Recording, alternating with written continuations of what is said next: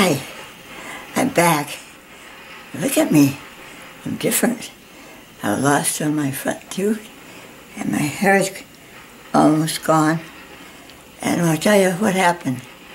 Last year wasn't a good year for me. On June the 21st, I fell in the bathroom getting some water to do a video, and uh, I hit my head real hard and great big bump here. And I went to the hospital, and they said it was okay.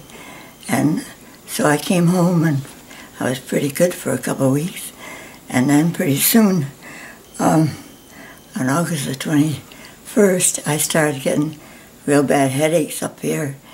And so I went to the doctor, and uh, they took another CAT scan and found that I had a large, large blood clot on my head, and I'd have to have an operation. My whole side was all paralyzed, and uh, so I went the next morning to have my operation. And during the procedure, uh, something really uh, experienced. I experienced a really wonderful thing, and I want to share it with you, and also to paint, try to paint the feeling I had when this happened. Um, I can tell you a little bit right now. Uh, first of all, um, when I first woke up, I, I, was in a deep, dark pit. And I said, Where am I? And I looked up and, up, up, and I saw this door open. And it was a faint door, faint light behind. And in the shadows, I saw a man, a beautiful, tall, beautiful, strong, wonderful man, just a shadow. And I looked up and I said, Are you God? And he said, Yes. And then he disappeared. And I was in the dark again. And pretty soon somebody touched my hand. And I said, Are you Jesus? And he said, Yes. I want to ask you a question. He said, I want to ask, ask you this question right now. Do you want to really go back down to the earth with all this pain? And I didn't answer. He said, My child, do you want to go back to that place out there where they're shooting people and so much sin sadness? And I looked up at the wall and somehow I saw a faint cross. And I thought, oh Jesus, you came down to this earth and look what happened to you. They hate you. They killed you on the cross. And he died for all the sins of the world. And yet they don't appreciate it. Lord, you died for me. And now I want to go back and live for you. And he said, my child, do you really want to do this? And I said, yes. The next thing I knew, I was in bed. And I was all in pain again. And uh, God told me, I want you to paint what you saw and tell the story to everybody you know. Because it's really true. And I love them. And I want them to know I love them. So when you go back, when you go back, as an artist, you've made so videos. I want you to do one for me, special, to show people that I am real. I'm a real God. And so today, I'm going to do that. I'm going to try with a watercolor because it's my favorite thing. By the way, I did paint an oil painting and I'll show it to you also. But this time, I want to put more of my feelings into this. And I'm, I'm doing pretty good now. I don't look so hot. I, one of my tooth fell out. My cap on my tooth fell out. Now I funny looking, uh, no hair, hardly any teeth. So I can still paint. And nothing get me down. So here I go. And you listen, I tell you more. Okay, this is a 22 by 30 arches, 140 pound uh, paper. It's cold press. And uh, I like to use a, my big handy brush, as you know, if you've watched my videos.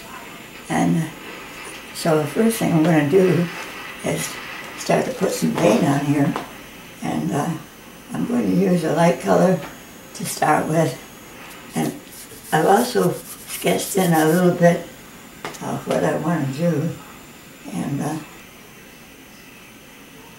so I know where I'm at. But right now, um, I'm going to fill all this with. I put some yellow on, and then I'm going to spray it, like you know how I do. And uh, let it run.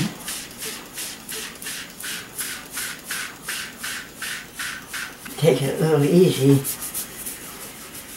Yeah, I'm just making this, this is going to be the dark pit down here. And it was really dark. I never saw anything so dark in my life. And I didn't know where I was.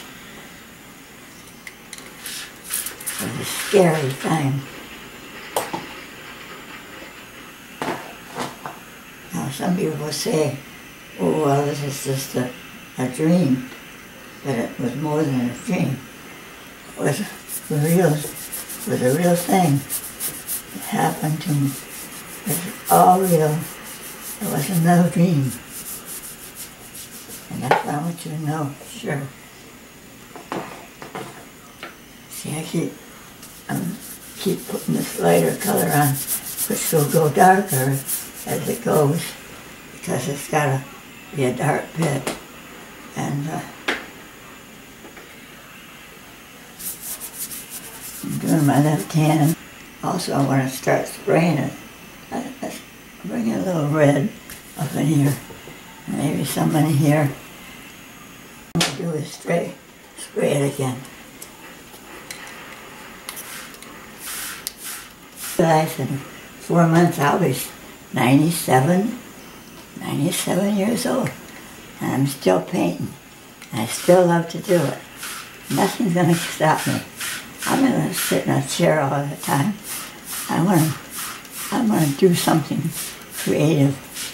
God created us, and He made us as we are. He gave me this talent, and I praise Him for it. And He wants me to use it for Him, and that's what I'm doing. So maybe some of you don't like what I say, but this is what I, the way I feel, and I want to tell everybody about it and uh, show how you can enjoy life even when you get this age and even when you have a brain operation. Built my brain. He said I had a brain, a perfect brain. But that's some, it, it wasn't wrinkly or anything for my age. It was just perfect. And I praise God for that. Okay, I'm making this a little darker now. Okay, I'm just going to sort of outline the shape here of a man. And it's uh,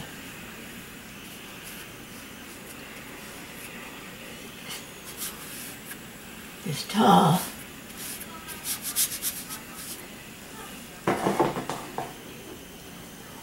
And beautiful. He looks like he has sport go on. Even.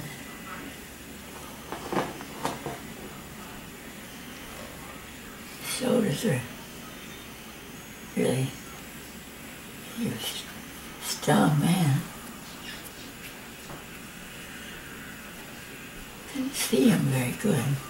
I couldn't see his feet at all.